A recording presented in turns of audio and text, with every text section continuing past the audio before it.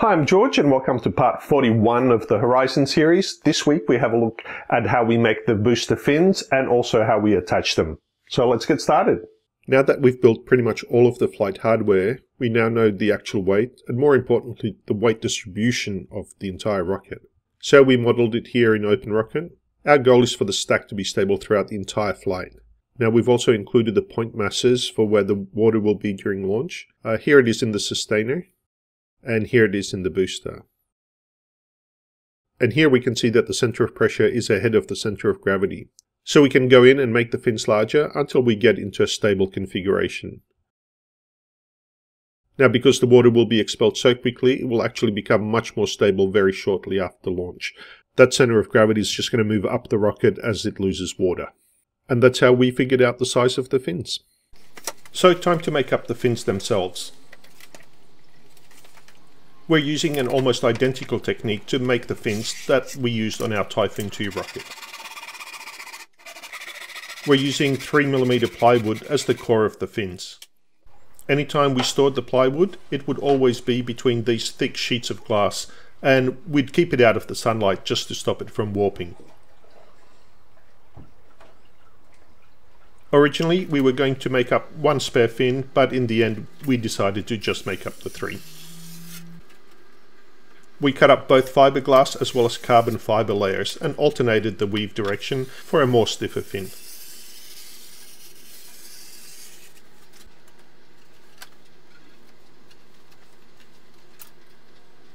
It was just a matter of pouring on the epoxy and then rolling it out with a foam roller.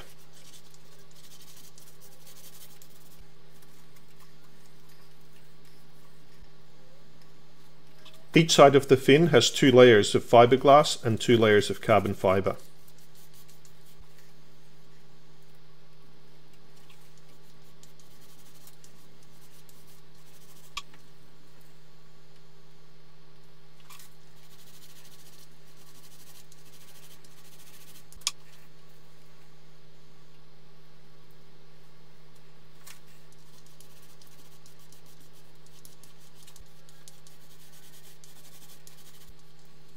Then we put a sheet of baking paper on top and drove out most of the big bubbles.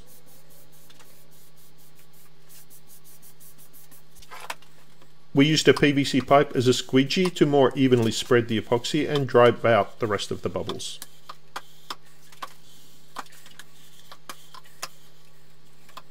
Then we flip it over and repeat the process.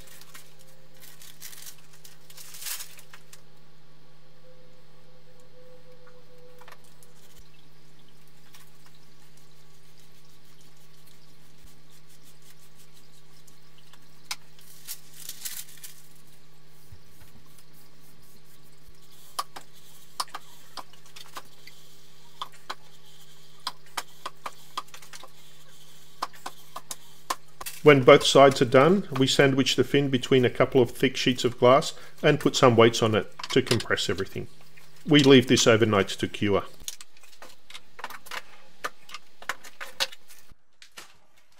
We can then peel off the baking paper.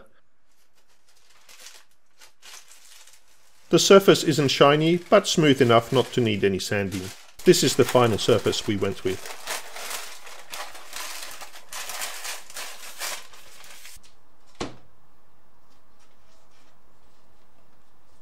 And here are all three fin plates made up.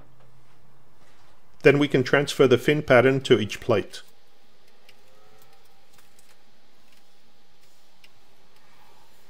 It was easy enough to use a hacksaw to cut the fins out, although we did go through a couple of blades uh, because they wear out quite quickly on the carbon fibre.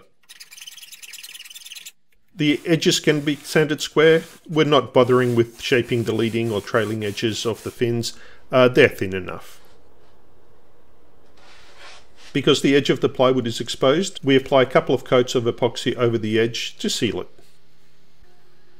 A finger was the easiest way to apply the coat of epoxy. The fins are about 4.5mm thick. Normally the fins would be attached with an epoxy fillet to the side of the pressure chamber, but we want to make these fins removable to make it easier for transportation or repairing the fins if they need it. So we opted to make a set of brackets that will be glued to the pressure chamber and then use furniture bolts to hold the fins in place. It would have been easier to make the brackets out of aluminium L channel, but we really had no way of reliably curving one of the channel sides. So we decided to mold the brackets from carbon fiber. For that we first needed to make up some molds. The molds are made from a couple of steel angle brackets with a curved profile 3D printed from several sections. Here is a short cross section of what the mold looks like.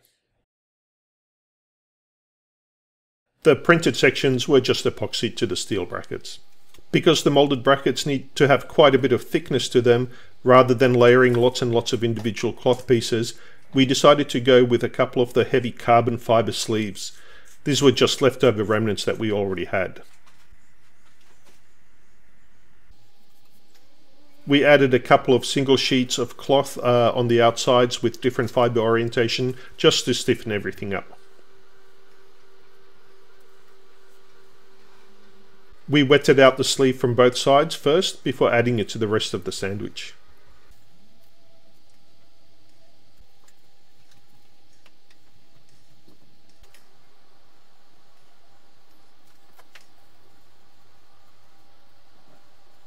Everything was just sandwiched between two sheets of baking paper. And then we used a PVC pipe to squeegee out the excess glue and drive out any of the bubbles.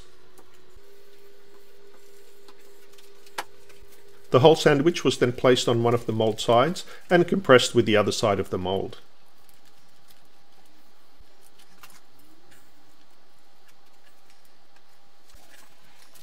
The mold sides were then further compressed with a set of clamps and left overnight.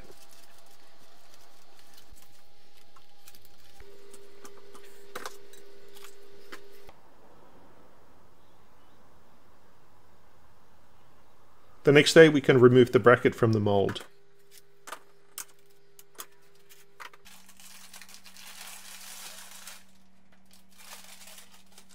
The bracket turned out quite good and had exactly the right shape.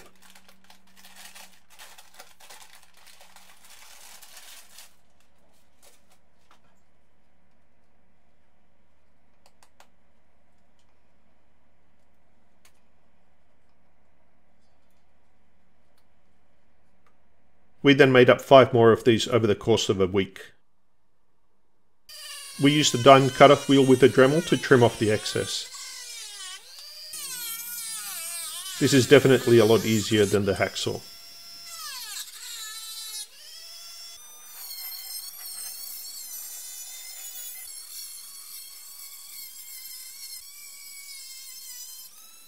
And here are the three fins with the six brackets.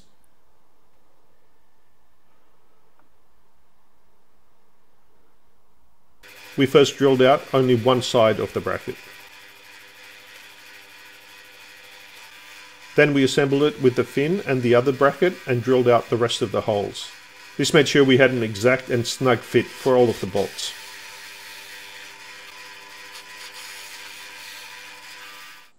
Each fin weighed in at around 250 grams. Before attaching the brackets to the pressure chamber, we first added a wrap of baking paper to the fin. This would prevent the fin from sticking to the brackets.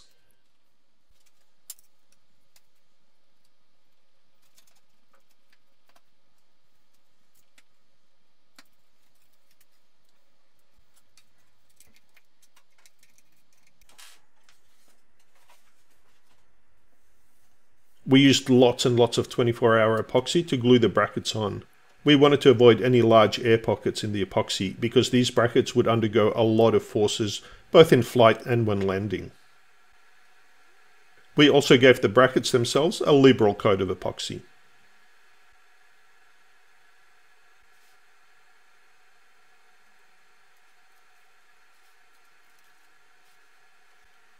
To make sure the fin stayed aligned, we used our fin jig on top of the pressure chamber.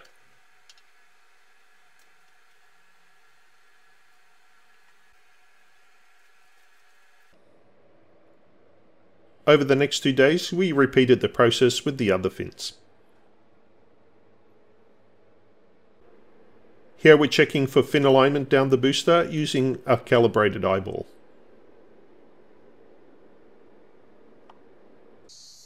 When inserting the fin into the brackets, we just roughly align it with the holes and then use something like a screwdriver to get that final exact hole alignment. These are the furniture bolts we're using to attach the fins.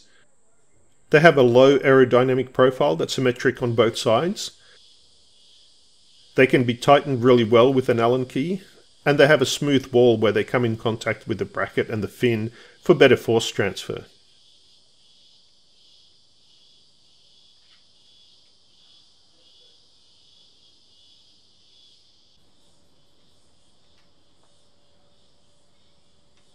We were really happy with how well the fins and brackets turned out. So that's it for this week. In next week's episode, we put the whole booster together, we painted, do a wet dress rehearsal, get it ready for flight. So thanks for watching and we'll see you next time.